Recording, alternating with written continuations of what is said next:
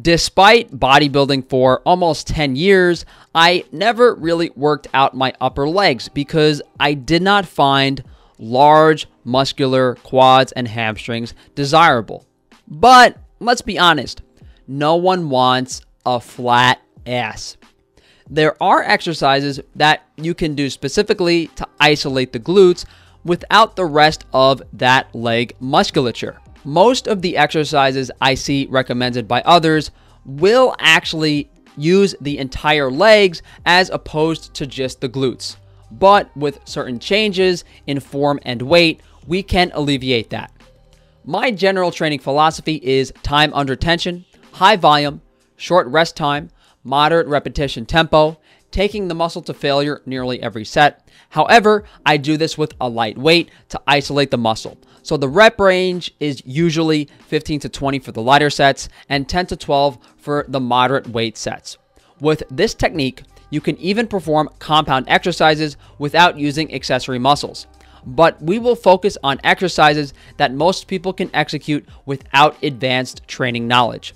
The most important aspect being that you are feeling the muscle contraction during the movement. If you want to work your glutes, make sure you feel it in your glutes not quadriceps or hamstrings.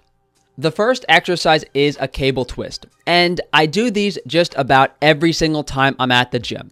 To perform this exercise properly, you need to grip the cable statically with your upper body. The only movement being the twisting of the abdomen. The leg close to the cable is static, and the opposite leg is pivoting to stimulate the glutes you really want to squeeze that glute throughout the motion, but especially at the end. The only muscles being worked here should be your core and glutes.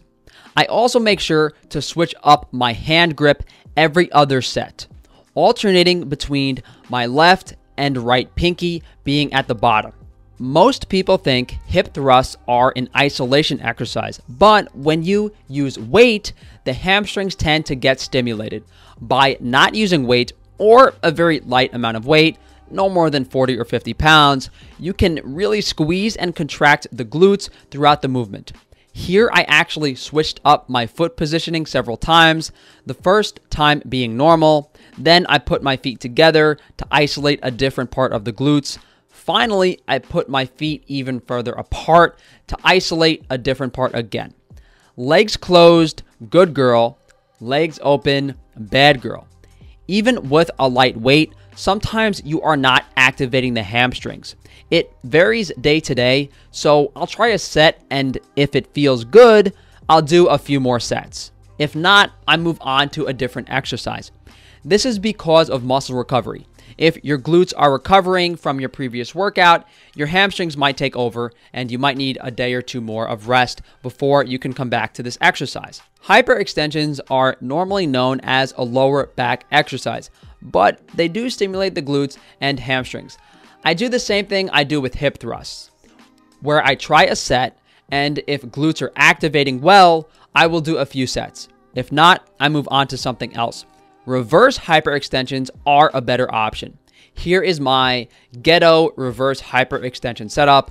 You really want to squeeze the glutes at the top. This exercise, as well as the cable twist, are definitely the best for strict glute isolation without worrying about activating the hamstrings. Only issue is many gyms do not have a reverse hyperextension machine, and the ghetto setup isn't really that good. It's a lot more difficult uh, to do the exercise without a stable base and a lack of distance from the ground. Good mornings are a great compound movement, and if you use a moderate amount of weight, you are able to stimulate your glutes very well. I don't usually go over 80 pounds when doing this exercise. I also don't like doing low bar good mornings for the glute stimulation. So I position the bar higher on my back. When you do these, make sure to almost hump the air and really flex the glutes at the top of the movement. If you position your feet wide and lean back, you tend to overwork your hamstrings. To alleviate this, you can narrow your stance and almost lean forward a bit. This is another exercise that can stimulate the hamstrings, so always see how a set feels on that day. I did forget to show you guys an exercise, which was a very light leg press focusing on squeezing the glutes, but not a free weight loaded leg press, a machine leg press, or a cable based leg press. You simply put on the second lowest or lowest weight on the machine and try to do the repetitions without activating your quads and hamstrings. If you position your feet high enough on the machine and mess around a little bit with that foot positioning, it can be very easy to isolate the glutes, but as with the other compound movements, it can vary from day to day. Thank you guys for joining me. Please let me know how your booty workout goes and what other videos you would like to see. If you could please like the video, subscribe, hit that bell icon, really helps me out. If you would like to support me further, definitely check out frankiesfreerangemeat.com. High quality, nutrient dense animal foods at an affordable price. You can also check out frankiesnaturals.com, minimal ingredient, minimally processed hygiene and cosmetic products. If you guys would like to reach out to me for health or fitness consultations, you can shoot me an email, franktufano at gmail.com. Everything is down in the comments, guys.